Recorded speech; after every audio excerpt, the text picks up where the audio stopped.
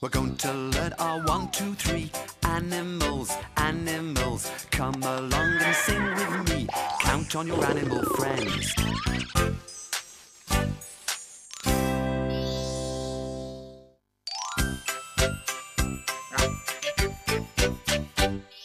The numbers one to ten. You meet time and again. So don't be one who just pretends. Count on your animal friends. Yes, count on your animal friends. Let's count up to four. One, two, three, four. Animals, animals. One, two, three, four. Count on your animal friends. One, Baby kangaroo. Two. Eyes looking. Bears in a family. Four. Long legs.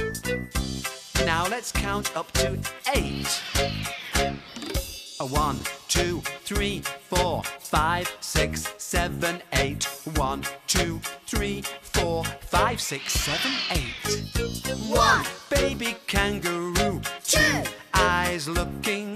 Three. Bears in a family. Four long legs. Five. Lazy crocodiles. Six. Birds flying. Seven. Tails up in a tree. Eight is an octopus. Yes. Numbers really count to work out any amount. But whether you can or not depends. If you count on your animal friends, yes, it's what he recommends. Now, let's count up to ten. One, two, three, four, five, six, seven, eight, nine, ten. Start again. Count on your animal friends. One. Baby kangaroo. Two. Eyes looking.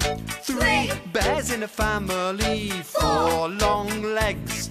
Five lazy crocodiles. Six. Six. Birds flying. Seven tails up in a tree. Eight is an octopus.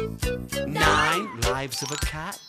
Ten sticky fingers. And that gives us a one, two, three, four, five, six, seven, eight, nine, ten. Start again.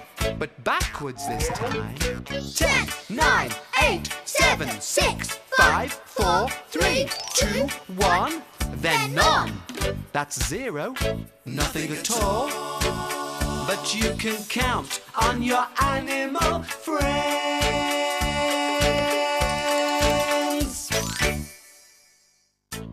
One baby kangaroo, two eyes looking, three bears in a family, four long legs, five lazy crocodiles, six birds flying, seven tails up in a tree, eight is an octopus, nine lives of a cat, ten sticky fingers.